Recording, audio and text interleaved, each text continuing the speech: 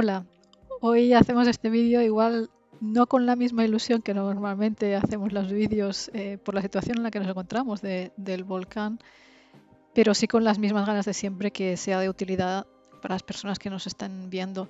Lo hacemos justamente por la necesidad que hemos visto de, muchas personas que nos están preguntando, sabiendo, eh, estando desalojadas por la situación del volcán, si tienen que continuar pagando su factura de la luz o no, o qué está pasando. Hay tres casos posibles diferentes y vamos a hoy con este vídeo ayudar a averiguar en qué caso nos encontramos hay diferentes maneras para averiguar. Una sería llamando a la distribuidora o la comercializadora actual que se tenga y la otra es la que hoy vamos a explicar, que es entrando en la plataforma de la distribuidora de distribución.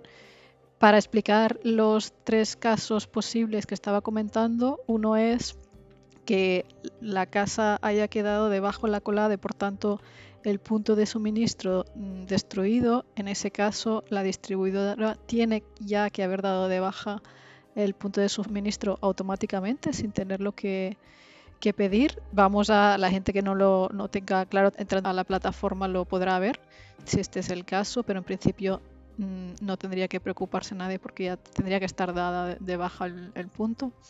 Eh, la, otra situación sería zonas desalojadas en que también se haya dado de baja el punto de suministro. Normalmente cuando se da de baja, después cuando se tiene que dar de alta otra vez, se incurren con costes, pero en ese caso ya también como lo marca el Real Decreto que salió justo después de, la erupción, no se puede cobrar otra vez a las personas que puedan volver a sus casas pues se podrá dar de alta el suministro otra vez sin tener que pagar nada. Y después hay otro caso que son personas que están desalojadas pero están en zonas donde continúa habiendo electricidad y su punto de suministro no se ha dado de, baja. Eh, en esos casos, mm, bueno, en esos casos nosotros creemos que, que las personas no tendrían que estar pagando. Hay comercializadoras que están pagando estos costes básicos, pero sea como sea, si están en ese caso que les continúa llegando facturas y están desalojados, que se pongan en contacto también estas personas con nosotros porque queremos estar haciendo presión para que nadie tiene que, tenga que pagar nada en esta situación, que creemos que no es justo que se tenga que pagar las facturas de la luz eh, estando desalojado. En todo caso, vamos a ver ahora cómo, hacer para entrar en la plataforma y ver si nuestro punto está dado de baja o no realmente. Vamos a ello. Eh, lo primero es ir a edistribución.com. Vamos aquí a la derecha, este icono, eh, este perfil, para entrar a la zona privada de la plataforma. Y aquí si no se han registrado, ponemos el enlace aquí, ya hicimos un vídeo para mostrar cómo registrarse, la primera parte de ese vídeo, lo enlazamos para quien no lo haya hecho. Quien lo haya hecho simplemente es entrar ya las credenciales, el DNI, la contraseña y entrar. Y una vez hemos entrado ya a la plataforma, pues es tan fácil como ir a tus suministros, por aquí o por aquí, pues se puede entrar en el, en el menú.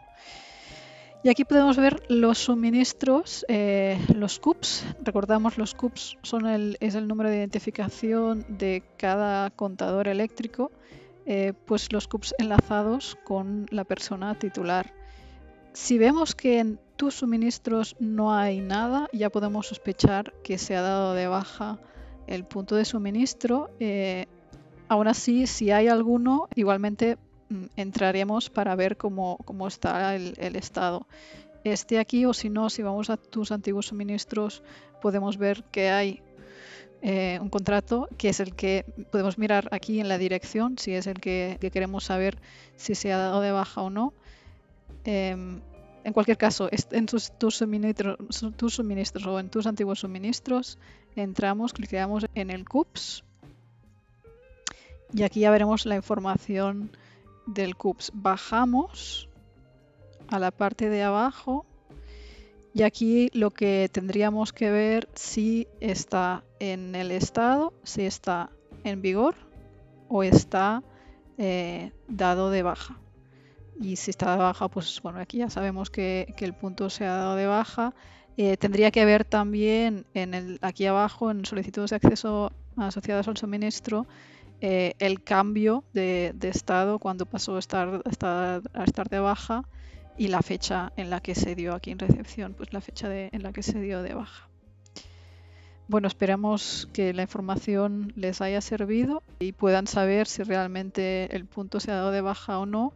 Como dije, en cualquier caso, si hay alguien desalojado que esté todavía recibiendo facturas de la luz, que se ponga en contacto con nosotros en La Palma Renovable. Se puede poner en contacto en, el correo electrónico oficinaverde.lapalmarenovable.es y ya ayudaremos a la persona eh, de la manera que sea posible para que no se tenga que, que estar pagando en esta situación tan dramática que estamos viviendo y que, bueno, que estamos aquí acompañando porque seguramente las personas no tienen la cabeza ahora mismo para eso y que queremos ayudar en todo lo que podamos. Eh, muchos ánimos y esperemos que esto se termine pronto.